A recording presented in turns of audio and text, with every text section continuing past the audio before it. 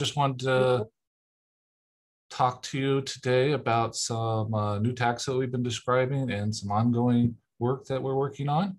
Um, this is a nice picture of a new that's come out of Hawaii, and um, that paper's just been accepted, so that's good news. I am currently at Loma Linda University in Southern California.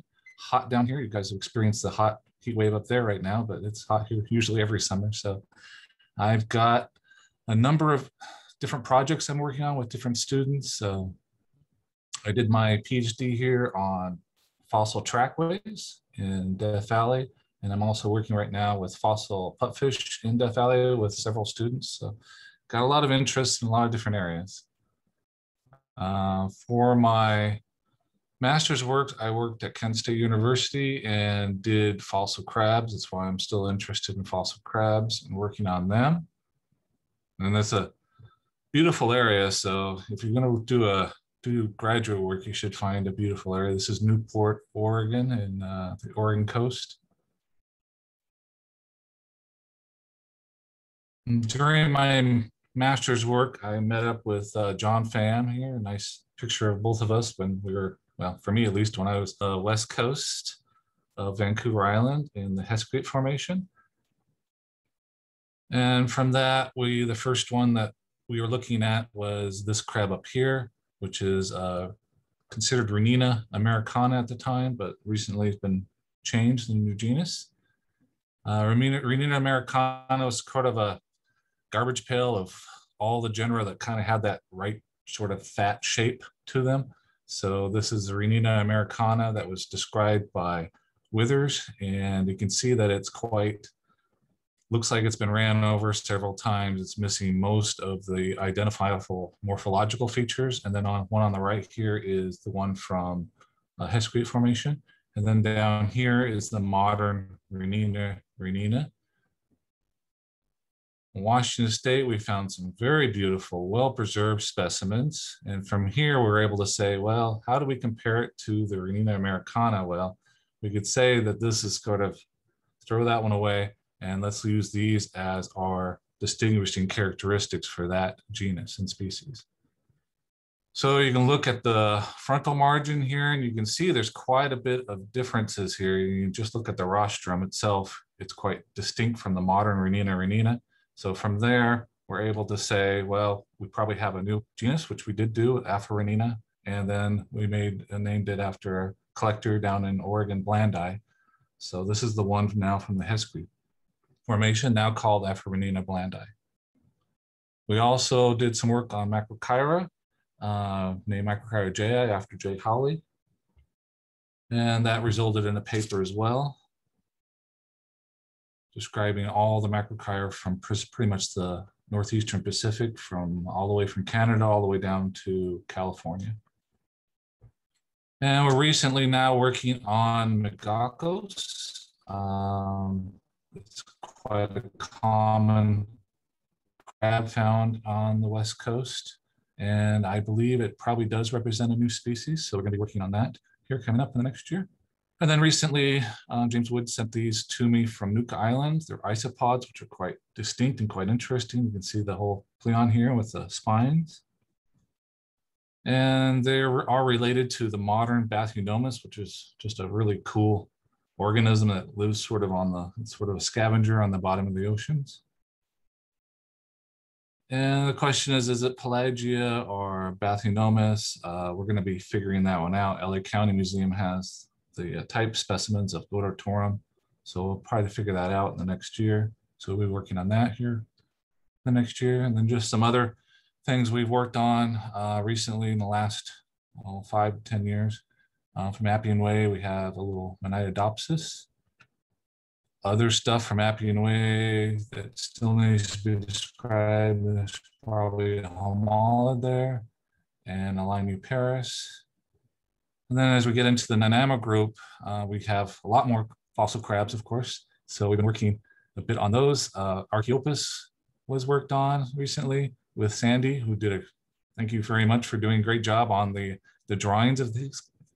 We were able to uh, describe several new species from there. And then we also were able to uh, reevaluate the species that were previously described, Rostritis and Bicornatus. Again, Sandy did a great job with uh, the drawings, and then we were actually able to compare it through time, the changes in the rostrum, the frontal region of this genus of Mercia. I'm sorry, Archaeopus. And then we also described Petrolisthes from an area near Victoria. So that's also a recent one with uh, James Haggart and John Fam and Dan Bowden. And then also Cretellhoma boweni from uh, the Nanaimo group near Courtenay.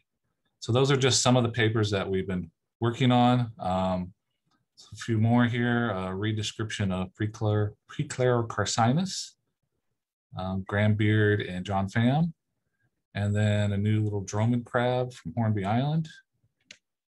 And then, the, so those are so there's just, again, just the papers that we've been working on, uh, me and Alessandro and some other colleagues um, with John Fam, Jim Haggart as well. Um, the one we're working on right now is in Haida uh, lobsters from that area. And this paper has just been, we just got the reviews back. So we're working right now, uh, working on those, but this paper's been accepted. So that's exciting.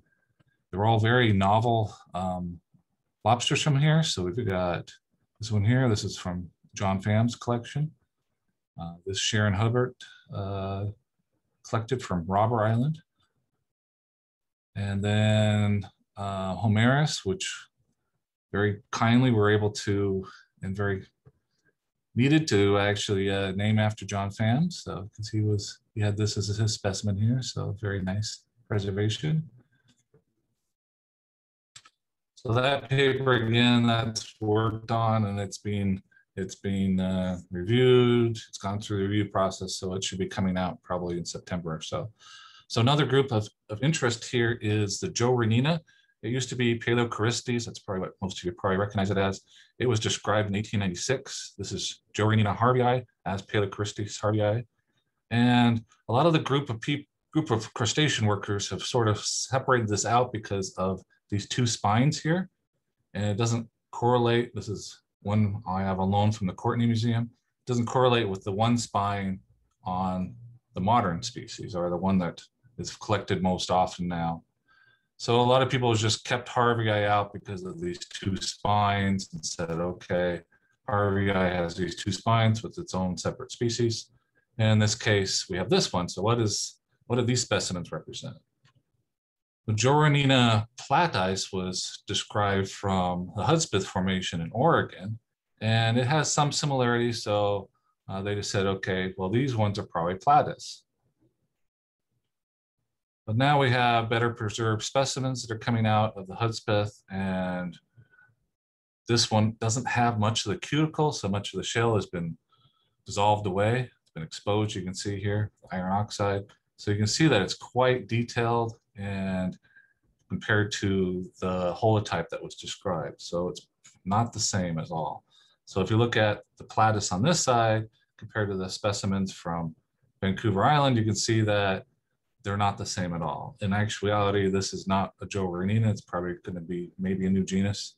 And this goes back to now we've gone full circle now, and this is now back to just Joeranina. So how does it relate to now to harveyi? Well, luckily, uh, Ottawa has been very kind. They're now sending me the type specimens of Joeranina harveyi. So hopefully we'll be able to see if this is actually this is kind of a bit of artistic licensing here. You sort of added spines here that probably aren't really here. So once we get the holotype from Ottawa, we might be able to actually say, okay, is this harveyi or do we have something different? And then we also have some odd ones here. This is from Little Qualicum River. Um, this is probably going to be Joeranina, but a different species. It's got tubercles here that aren't on the other ones from the Nanaimo group. So quite distinctly different. Um, John Fam, uh, has loaned me these specimens from Haida and they most likely are a different species as well. And then we've got this very interesting one from Rick Ross. Thank you, Rick, for sending this. As you can see, it's quite distinct. It's not going to be a Joeranina. It's going to be some other kind of raninid. It just shows that this is the only, this is the first ranid that it's been uh, found in the Hornby Island area. So it just shows that many years of collecting, you can still find some novel, some interesting uh, specimens from there. So we're going to work on that. And then sinus, we've been working on that for a long time. So we're going to finish that one up as well. So hopefully I didn't went through those very quickly.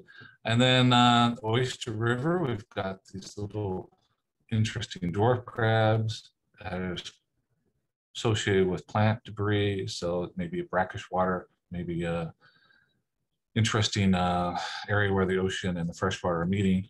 And so we're going to be describing those here for the next few months as well. All right. Hopefully everybody could hear me and didn't have any internet problems. Um, that went by very fast, but uh, thank you for your time on that. And uh, if anybody would like papers or anything, you can email me and let me know what you'd like. And uh, yeah, some interesting stuff coming out of there still. There's been a lot of work. That's just the work I've been doing. There's uh, other people have been done work over the years as well.